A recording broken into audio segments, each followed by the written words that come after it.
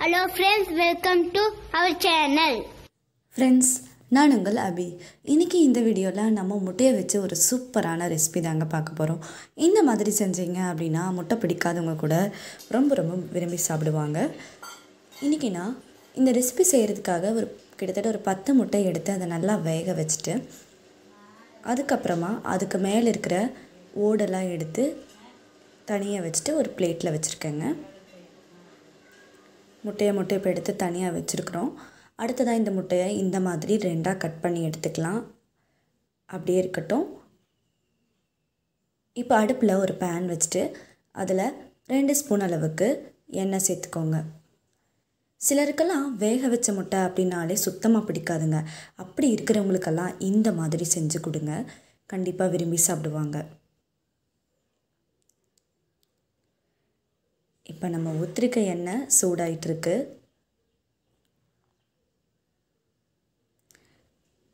இதில் இப்போது சிறிதளவு கடுகு சேர்த்துக்கோங்க. கடுகு நல்லா பொரியட்டும். அடுத்ததாக கடலைப்பருப்பு கொஞ்சமாக சேர்த்துக்கோங்க. இந்த ரெசிபி செய்கிறதுக்கெல்லாம் நமக்கு ரொம்பவே குறைவான டைம் இருந்தால் போதுங்க. டக்குன்னு செஞ்சு முடிச்சிடலாம். கடலைப்பருப்பு வதங்கினதையுமே இதில் ஒரு சின்ன துண்டு பட்டை சேர்த்துக்கோங்க. கூடவே ஒரு கிராம்பு.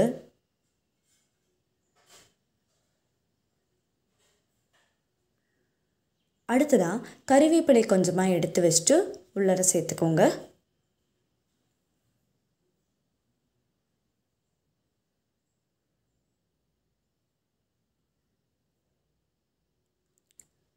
கூடவே பூண்டு ஒரு ரெண்டு பல்ல தட்டிட்டு அதையும் கொஞ்சமாக உள்ளே சேர்த்து விட்டுருங்க.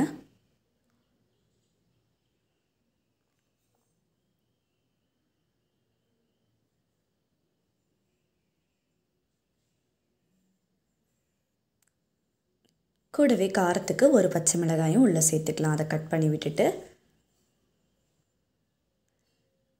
அடுத்ததாக நீல நீளமாக கட் பண்ணி எடுத்து வச்சுருக்கிற பெரிய வெங்காயத்தை உள்ளே சேர்த்துக்கோங்க. நான் இன்றைக்கி கிட்டத்தட்ட ஒரு மூணு நாலு பெரிய வெங்காயத்தை நீல நீளமாக கட் பண்ணிவிட்டு உள்ளே சேர்த்துருக்குறேங்க. வெங்காயம் சேர்த்ததுக்கப்புறமா நல்லா வதங்க விடுங்க. அது கொஞ்சம் அப்படியே வதங்கட்டும். வெங்காயம் வதங்குற வரைக்கும் நம்ம வெயிட் பண்ணலாங்க.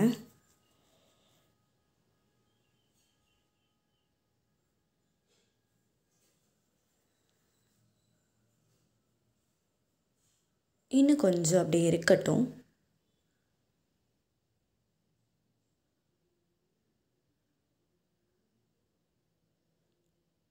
நம்ம வீட்டில் சைடிஷ்க்கு எந்த ஒரு ரெசிபியுமே இல்லாத சமயத்தில் கூட முட்டை மட்டும் இருந்தால் போதும். அதை வச்சு இப்படி ஒரு சூப்பரான ரெசிபி நம்ம செஞ்சு முடிச்சிடலாங்க. இப்போ பாருங்கள் வெங்காயம் வதங்கிடுச்சு. இதில் தேவையான அளவு நம்ம தக்காளி பழத்தை உள்ளே சேர்த்துக்கலாம். நான் இன்றைக்கி கிட்டத்தட்ட ஒரு ரெண்டு தக்காளி பழத்தை நல்லா கட் பண்ணிவிட்டு உள்ளே சேர்த்துருக்குறேங்க. தக்காளியும் இப்போ நல்லா வதங்கட்டும்.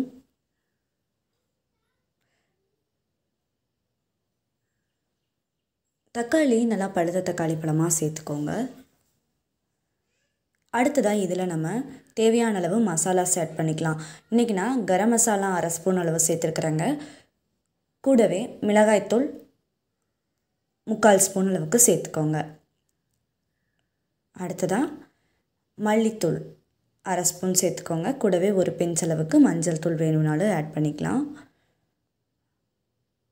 தேவையான அளவு உப்பு. இது எல்லாத்தையுமே சேர்த்துட்டு நல்லா இப்போ கலந்து விடுங்க. நம்ம க பச்சை மிளகாய் ஆல்ரெடி ஒன்று சேர்த்துருக்குறோம். பச்சை மிளகாய் சேர்க்க விரும்பாதவங்க மிளகாய்த்தூள் வந்து இன்னும் கொஞ்சம் அதிகமாக சேர்த்துக்கோங்க காரத்துக்கு ஏற்ற மாதிரி. இப்போ நம்ம பச மசாலாவோட பச்சை வாசனை எல்லாம் போகிற அளவுக்கு இது வதங்கட்டுங்க.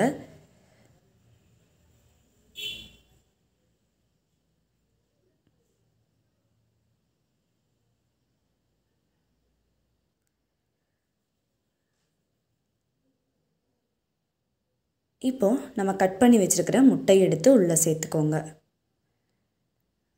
முட்டையை சேர்த்துட்டு அப்படியே நல்லா கலந்து விடுங்க.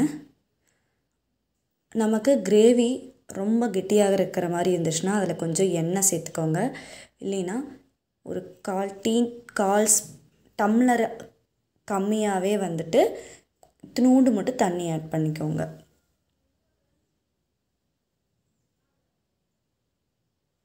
ஏன்னா ரொம்பவெல்லாம் நம்ம தண்ணி ஆட் பண்ணால் நல்லா இருக்காது அதனால் ஒரு கால் டம்ளருக்கு குறைவான ரொம்ப குறைவான அளவுக்கு மட்டும் தண்ணி சேர்த்துட்டு அதை கொதிக்க விட்டுட்டு அதுக்கப்புறமா முட்டையை சேருங்க. இப்போ பாருங்கள் முட்டையெல்லாம் வந்துட்டு மசாலாவில் போட்டு நல்லா கலந்தாச்சு. மேலால் கொஞ்சமாக மல்லித்தலை சேர்த்துக்கோங்க. மல்லித்தலை சேர்த்துட்டு இதை நல்லா கலந்து விடுங்க. இது கூடவே வந்துட்டு குறுமிளகுத்தூள் நம்ம சேர்க்க போகிறோங்க அதனால் குருமிளகு எடுத்து நல்லா பவுடர் பண்ணி வச்சுக்கோங்க.